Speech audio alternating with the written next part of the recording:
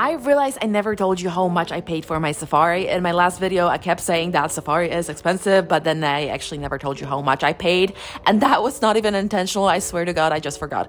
I paid $900 for four nights of safari in Tanzania plus tips.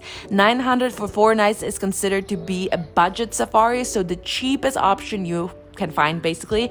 For that price, you do not get hotels or lodges. You sleep in tents, which are not very comfortable, but it is fun.